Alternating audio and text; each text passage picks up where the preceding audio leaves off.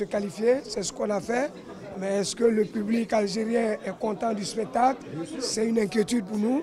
Si vous me donnez le feedback, bon, c'est que je suis content si le public algérien est content. Je vous dis, c'est des matchs à élimination directe. On n'a pas d'autre choix que de venir jouer tout notre va-tout.